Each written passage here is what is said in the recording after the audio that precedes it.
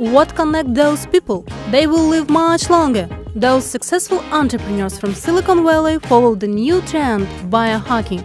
Huge investments towards the development of projects related to this wholesome life ideology, as well as anti-age technologies. Biohacking is not just a fashion trend, it is the way to the future.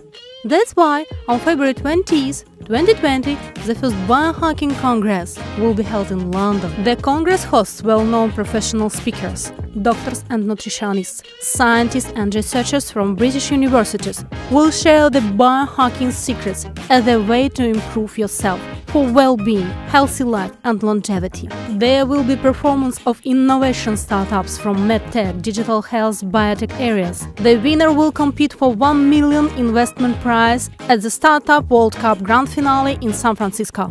We invite you to join the UK's biohacker elite. We are confident that your participation would help achieve large and ambitious goals, put you at the head of absolutely progressive sustainable global trend take leading positions in the new biohacking market in Great Britain.